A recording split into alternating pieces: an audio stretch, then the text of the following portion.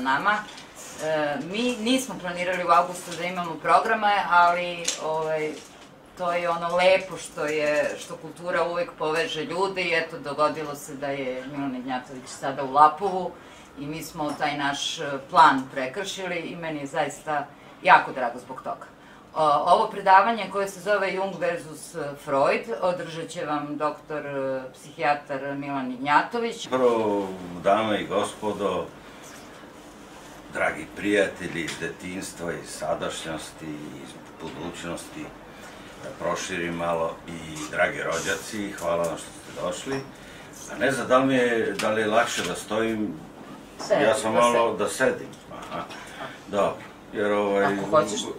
ne, ne, malo sam se ugojio pa rekao, dok, dok se na, ovaj, udahnem, e, tačno, on je rekao, tautološki je to veoma važno, razgraničiti neke pojmove, a mogu odmah i da navežem na njega i odmah Junga da pustim kao temu, jer on se bavio stvarima e, kao što su racionalni brojevi, iracionalni i tako dalje. Iracionalni brojevi su i na kvadrat minus 1. To je od tautologiji i na osnovu toga posle numerološki je on to, sve te informacije razrađivao i slagao, pa imamo broj 1, najčudnije je broj 1 na svetu, nula je u redu, pa je posle bilo 1 i tako dalje. A da se vrati sad, isto mala digresija bila u vezi ovoga što, je, što smo čuli, e, psihologija jeste nauka duši.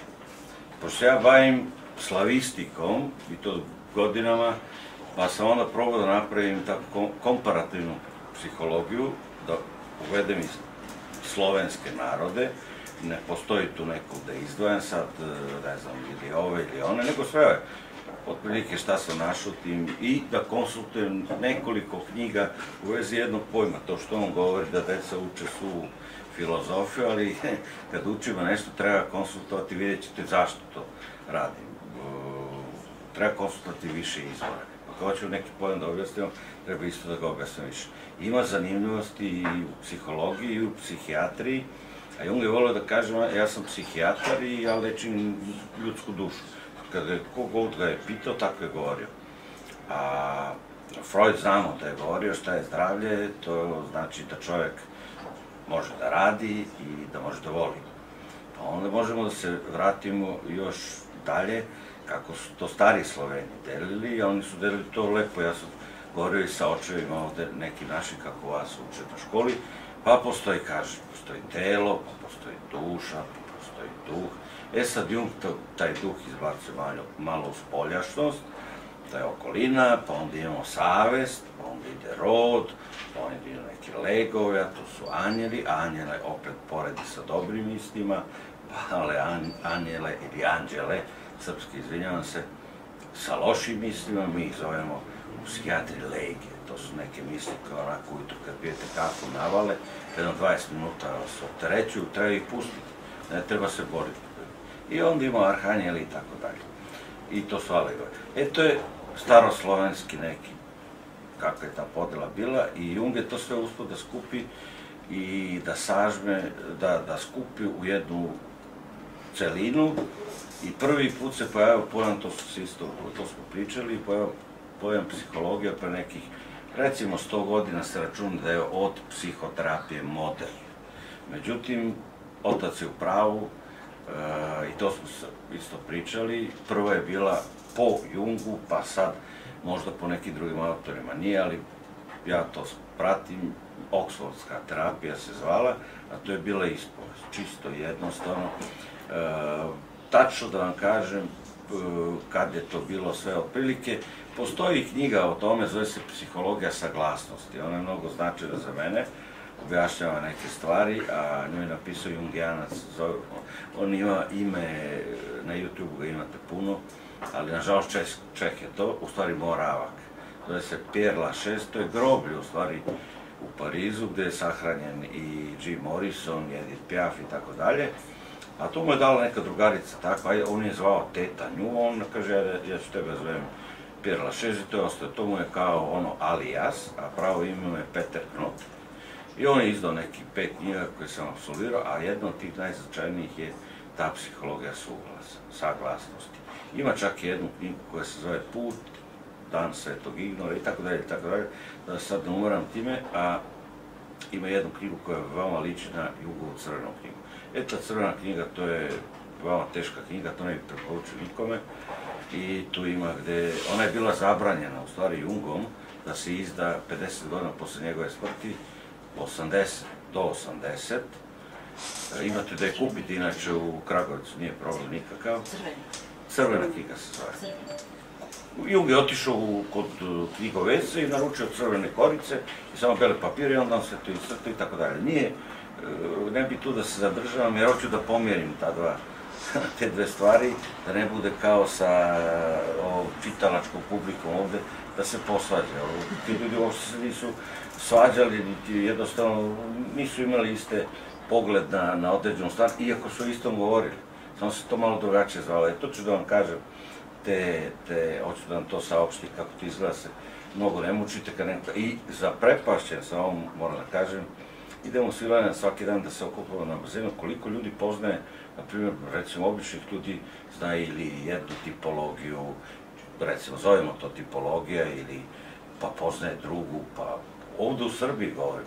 Znači, ne radi se samo, ja, tri teme koje ne pričam s ljudima nerado, pričam možda s ljudima koji to ne razumu, su religija, politika i istorija. To onako izbega, ako, ako baš moram, pa nešto kažem, ali ne komentarišem ništa u, u tom nekom, ali sa ocem mogu, jer imamo neke dodire tačke i kako ja kažem, naštimali smo se pa nam to ide. Znači, trzamo isto strunu, isto ton držimo, to je dobro. I ovaj, on je tu knjigu zabranio i toga što ono počinje dušo moja gde si i posle nastavlja. Ima tamo arhetipa o kojem su se bavili, a to ću sve da vam objasnim. Ukratko, što pre da bi mogao, jer dobio sam 45 minuta, pa sad ako stignem da vam sve, i još hoću da vam pokažem jedan moj san, jer uvijek je volio da pokaže stvari svoje, ne, ima i pacijenti koji su tamo popisani, to se zovu kazuistike stručno, znači slučajevi, klinički, a ima i svoje. Pa ja bi vama svoj jedan eto tako čisto, da vidite kako može da stvari se pokrenu, a da ne znate sad. Ali Milane, samo za trenutak da. Ali, pošto on sad stalno priča da vam skratim, da vam skratim, mi smo se dogovorili malo čas da u ciklusu predavanja putovanja jednog zelenog Mikija ponovo dovedemo ovde istu ekipu, kada on bude ponovo došao iz Slovačke da pričamo o drugoj temi, eto, tako da znate. Nastavi, zato ću danas biti, probat ću što kraće, ja sam sam otišao malo I hoću samo da vam kažem, ima tu knjigu, ali ne bih preporučio lecima da čitaju, to je knjiga veoma zanimljiva, ali veoma teška. To je druga najteža knjiga u mojem životu koju sam pročitao. Prva je James Joyce, to je taj Uliseus ili tamo se zove Odiseus, jedan dan u Dublinu, imate Nikad nije doživjela struku izdanje. E, ali je prvi, ali izašao je 1922. ja mislim, a otprilike on je trebao da studira medicinu i glutuje po svetu u Parizu i sve koje kuda. Najzanimljivija stvar da mu je jedna čerka doživjela starost u Švajcarskoj, imala je schizofreniju i lečio Jung. A Jung je bio prijatelj sa njime, to malo ljudi zna. I ovaj, on je bio progran iz Irske, kao i moj isto omiljeni pisac Samuel Beckett. Tako da jedan je putovao, a drugi živi u Trstu. E, zašto je važna ta knjiga? Ona je važna zato što tamo vidite jednostavno stvari koje našo, evo ovo moram da kažem, jer ovo je iz prakse. Došao je čovjek i doveo je majku na pregled, u jednom momentu on je meni rekao da li sam čitao crvenu knjigu, rekao jesam. Ali malo kod mojih kolega je čitao. Sad ne znam, možda su i svi pročitali. u suštini. Postoje dva izdanja, jedno je sa ilustracijama i mandalama, drugo bez. I, ovaj, I on mi kaže ovako, ja kad čitam tu knjigu vidim slike. I to je za mene bio, ja sam na to čekao 60 godina, na primjer, da čujem to. Ima i drugih, im- imam jednu kazuistiku sa psihospiritualnom krizom i tako dalje. Sve što je Jung napisao, 44. Što je, do- kad je on doživio, kad je dobio infarkt, kad je slomio nogu, tako je sve ovaj čovjek meni isto ispričao. I to je drugi, ima još jedan, ali nije bitno, aj sad neću da. E, šta hoću da urazim danas? Ovo dvoje, znači, ide Jung zato što je stariji, zato što je ne stariji, zato što je duže živo u stvari. od Freuda. Freud je rođen 1856. i umro je 1939. na veliku insistenciju američkog ambasadora u Beču, već su tamo bili nacisti, pošto on bio jevrej, čovjek trebalo da sise, nikako nije htio da ode, jedno se je otišao i posle ga je primilo unuka Bonaparte, koje je se primilo njemu u Engleskoj i ovaj, bila je psihoanalitičar isto. I tamo je umro. A Jung je rođen 1875. i umro je 1961. Pa je zato Jung versus Freud, to znači protiv, nije to protiv, i et vice versa, znači obrnuto. Može, kako god okrenu. U suštini, ako uzmemo jednog i drugog, to su plodni autori i prvi put se pojavio reč psihologija kod Freud. Ali Freud, da vam kažem odmah, nije bio psihijatar. Nikad nije bio. I kao takav je i otišao, upokojen ili kako da kažem.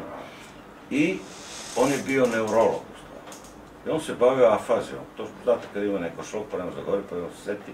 Znači, znači motorno i senzitivno i tamo su ta dva centra, Broka i Vernike u mozgu s leve strane, ali nije bitno ni to toliko, on je počeo da se bavi, znači, bio je kož, otišao u pare, pošto, e, ovo je najvažnije, obojice su bili ljudi, zato hoću da vam kažem i prijatelji, treba poznati više jezika i ja sam našao posle 30 godina u Slovačkoj, da je, na primjer, Slovački najbolji jezik za učenje slavistike po meni ima mnogo stvari koje su etimološke reči koje su povezane, pa onda mogu i ovog Junga bolje da razumem. Freud je prvi put iskoristio reč psihologija, a sad ću da vam kažem kako, zašto je slovački značaj. Jer otac isto zna, pneuma znači duša. Duša Slovaci zovu unutrašnju gumu od automobila. I to je nevjerovatno. Mi je zovemo unutrašnja guma. Znači, nema nikako etimološki, nema se poveže. A ovo zovemo spoljašna guma. Oni zovu sve vreme kad se uče slovački duša, duša, duša i sad kad sam došao do nekih tih saznanja, vidim ja pneuma lepo piše duša. Ljudi su u pravu, jer duša je nešto što je eterično, nije upipljivo, jest. I oni lepo znaju, e, u tome vam je slovački. To je samo jedan banalni primer kako godinama ja sam učio slovački i nisam mogao da ukatira zašto zovu duša, zašto je ne zovu unutrašnja guma. Eto, to je razlog, zato što to odgovara to. I da nastavim, upotrebio je, onda posle njega se pojavio Jung, koji je to posle malo promenio u analitičku psihologiju i kad damo psiho kao duša i termin logos, logički razum, pa možemo i to da povežemo. Psiho i razum i da ta psiha ima neki razum. Znači, ovako, svest kad nastaje, koja imamo kolektivnu svest, imamo kolektivnu nesvest, te dve stvari. Sve što vam završava na izmus je kolektivno svest. To je po Jungu. Znači, kapitalizmus, liberalizmus, ateizmus, feminizmus, da se ne uvrede žene, i tako dalje, i tako dalje sve je to kolektivno svestvo. Znači, to je, neću da je isplanirano, ali jednostavno ima neku svoju ideologiju. A kolektivno nesvesno imamo svih 7 milijardi ljudi na svetu, svi imamo jedan.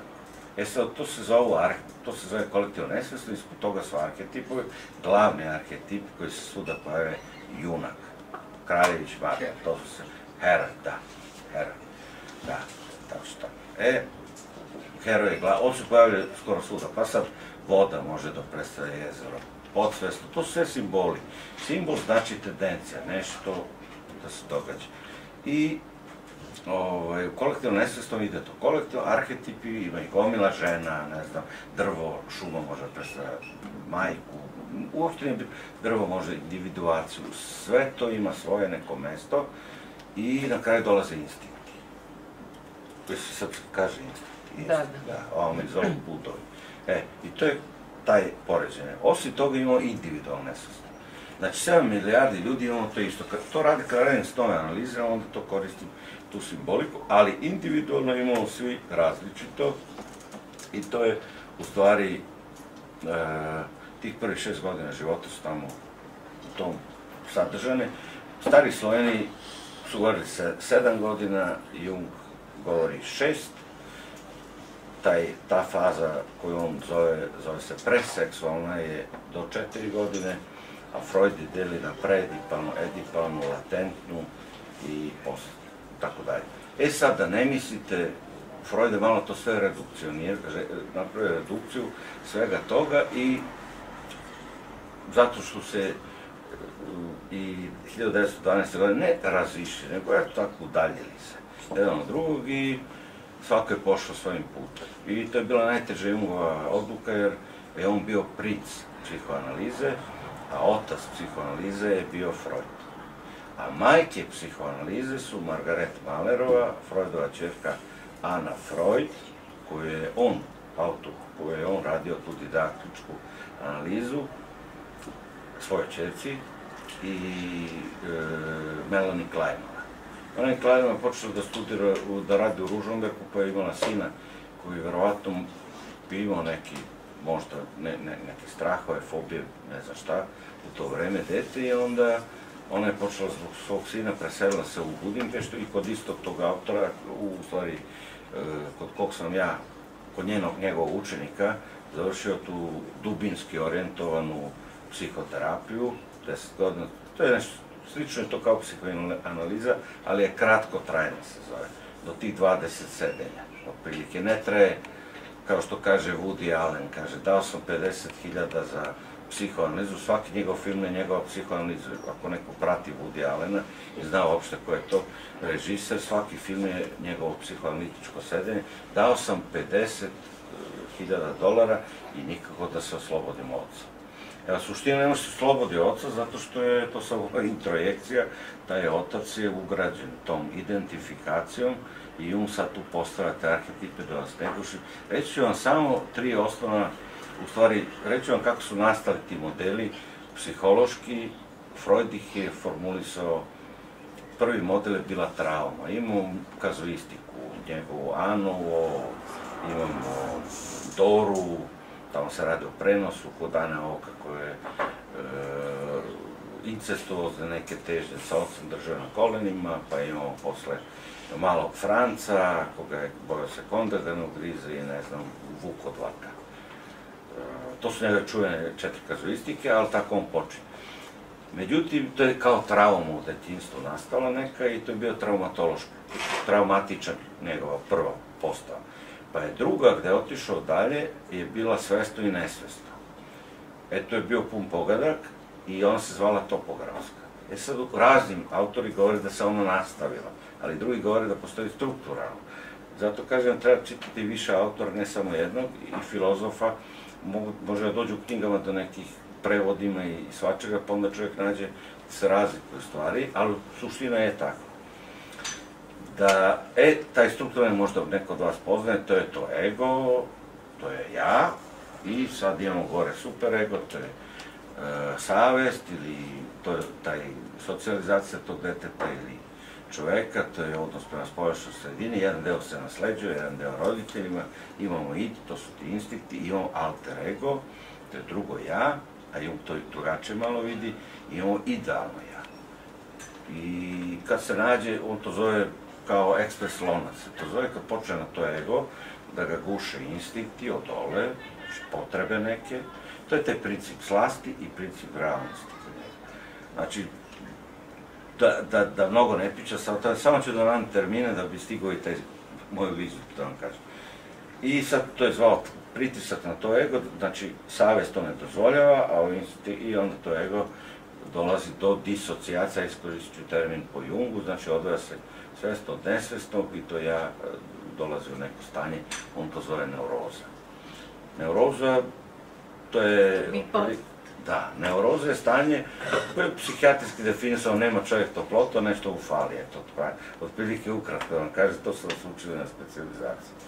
A, ovaj, pa svašto nešto fali, sad ima tamo mnogo poremeće, ne bio čisto psihijatriju, a najčešće sad, što se pojavljaju, što ja vidim, su panični napadi sa agorafobijom, ima i generalizovano uskosti poremeće, ima i socijalne fobije, ima i zelenih fobija, ima posttraumatska, e, posttraumatska e, ta taj poremećaj, to je posle Vijetnama pronađeno kod tih veterana, pa imamo OCD, obsedantno kompulzivni spektrum, to nije više jedna stvar, znači spektrum, to je i bulimija, i mentalna anoreksija, i gambling, ovo igranje, Mozart i ovi kladionice i tako dalje, pa imate piromaniju, kleptomaniju, to je OCD spektrum, nije to samo, to je poremećaj impuls. I to se usposti. Osnova toga je anks, pardon, to je slovačko slovo, anksioznost. To su sve anksiozni poremećaji, znači globalno rečeno i somatoforni još. Eto, prilike tako. Prvu knjigu o psihosomatici napisao je isto u vreme Freuda i njegov znanje prijatelj u Americi, Aleksandar se zvao, i to je prva knjiga o tome kako se pojavljuju ti simptomi, neki locus minoris rezistencije, kada ta duša ili psiha ima diskomfort neki ili stres, znači nije sve u najboljem redu, pa se onda sretnu ti doživlje iz detinstva, pa neki stres u budućnosti i onda nastaje do neke kolizije intrapsihičkog konflikta i tada se pojavlja, ne znam, može se pojaviti. Tri su glavna simptoma stresa, to je nespavost, bolest kičma ovde i želudac. To počinje tako, pa onda ide svakako drugačije. Može da se širi. A prva? E, to je, A prva? prva je ne, nespavost, ili kako se kaže, e, da ne spava. Nesanica. Nesanica. Idi, idi, nesanice, da, da zaboravim. Znam pesmu, ne znam reći. Znači, nesanica. Druga je trapezika bole i treća je želudac.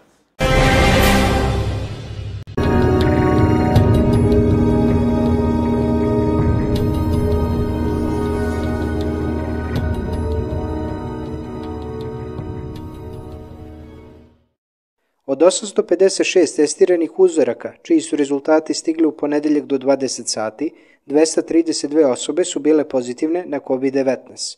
U pitanju su 165 osobi iz Kragujevca, 26 iz Aranđelovca, 10 iz Topole, 9 iz Rače, 12 iz Knića, 8 iz Batočine i dve osobe iz Lapova. Navodi su u izveštaju Instituta za javno zdravlje u Kragujevcu. Danas je Međunarodni dan nestalih osoba. Dogodilo se na današnji dan. Na današnji dan 1969. godine rođen je Vladimir Jugović, poznati futbaler i reprezentativac. Dogodilo se na današnji dan. Na današnji dan 1993. godine umro je Miloš Žutić, poznati filmski i pozorišni glumac. Predsjednik Republike Srbije Aleksandar Vučić rekao je da Srbija nikad ne zaboravlja svoje prijatelje. Izrazio je zadovoljstvo što šefu kubanske diplomatije Bruno Eduardo Rodriguez u Parilju može uručiti orden u godini kada obeležavamo 120 godina diplomatskih odnosa.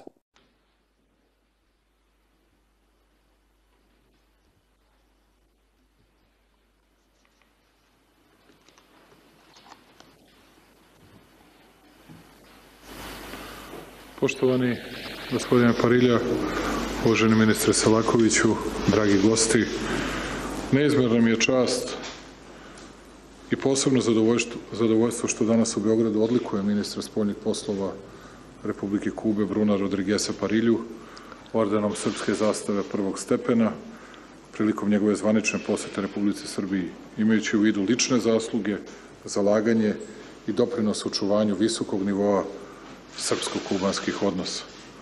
Sa velikim ponosom konstatujem da se ovo odlikovanje ministru spoljnih poslova Kube dodeljuje u godini u kojoj naše dve zemlje obeležavaju 120 godina od uspostavljanja diplomatskih odnosa, što govori o tradicionalnoj posvećenosti i razvoju međusobnih veza uprkos geografskoj udaljenosti. Budući da Republika Srbija ne zaboravlja svoje prijatelje, želeo bih da istaknem i da je nekadašnji predsednik Republike Kube Fidel Castro nosilac ordena Republike Srbije na lenti za istaknute zasluge u razvijenju i učvršćivanju prijateljskih odnosa i saradnje između naših dve zemalja.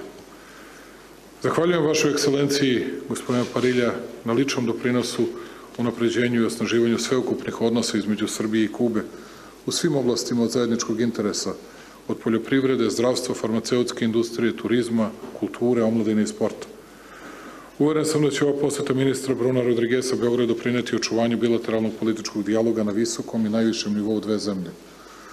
U tu svrhu pozvala sam danas predsednika Dijes Kanela da poseti Republiku Srbiju, zahvalan na veličanstvenoj poseti koja je meni organizovana u Havani 2017. godine. Koristim ovu priliku da uputim Republici Kubi na doslednoj podršci koju pruža očuvanju suvereniteta i integriteta Republike Srbije. Ova principijalna pozicija predstavlja odraz privrženosti Republike Kube poštovanju osnovnih principa međunarodnog prava, što Srbija visoko ceni. Istovremeno, Republika Srbija ostajaće i opstajaće na pozicijama protivljenja sankcijama Republici Kubi i uvek na našu podršku možete da računate. Vaša ekscelencijo, veliko hvala za prijateljstvo i još jedan put vas molim da prenesete moje najiskrenije pozdrave predsedniku Dijas Kanelu, a ja nikada neću zaboraviti ni svoj veoma sadržajan, iskren i iscrpan razgovor koji sam imao i sa Raul Castrom prilikom posete Havani, prilikom posete Kubi. Čestitam vam još jedan put i hvala što ste danas ovde u Beogradu. Hvala predsjedniče. Ukazom predsjednika Republike od 26. avgusta 2022. godine ordenom Srpske zastave prvog stepena odlikovan je njegova ekscelencija gospodin Bruno Eduardo Rodriguez Parilja za izuzetne zasluge u razvijenju i učvršćivanju prijateljskih odnosa i miroljubive saradnje između Republike Srbije i Republike Kube. Molim predsjednika Republike da uruči, a gospodina Rodrigueza Parilju da primi odlikovanje. Izvolite.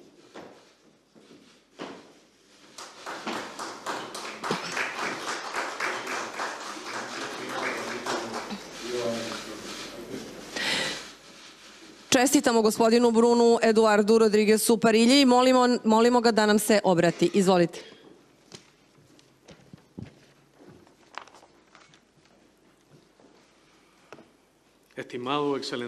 Uvaženi predsjedniče Aleksandre Vučiću, uvaženi ministru i moj prijatelju gospodine Selakoviću, dragi moji prijatelji, primam ovaj orden sa jednom velikom počasti.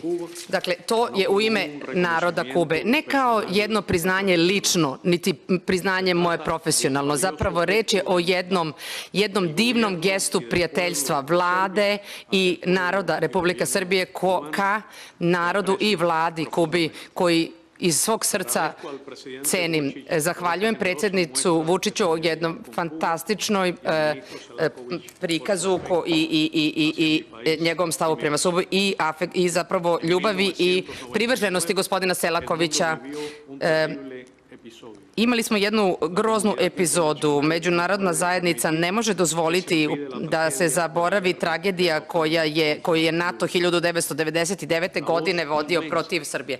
Jedna velika glas komandanta i revolucije kubanske Fidel Castro je u tim teškim momentima bio sa vama i uz vas, kao što je i uvek Kuba bila pored i na strani praved, pravde. Dakle, protiv svih tih imamo jedan čvrstan i istorijski istorijska posvećenost miru, nezavisnosti, poštovanju teritorijalnog integriteta i suvereniteta država, pravde, promovisanja dijaloga i saradnje na međunarodnom nivou i poštovanje međunarodnog prava. Nakon 20 godina, 120 godina diplomatskih odnosa koje nikada nisu bile prekinute sa Srbijom i ovog puta potvrđujemo da želimo da produbimo naše istorijske odnose koje naše bratska, bratske narode vezuje. Gospodine predsjedniče i dragi moje kolege, još jednom vam, da, vam šaljemo našu veliku zahvalnost. Hvala. Poštovani predsjedniče, dragi gosti, ovim je ceremonija dodele odlikovanja završena. Hvala vam. Srbija je pozornica za rat između istoka i zapada, izjavio je za Reuters predsjednik Republike Srbije Aleksandar Vučić i dodao da pokušavamo da preživimo, sa što manje rana i ožiljaka.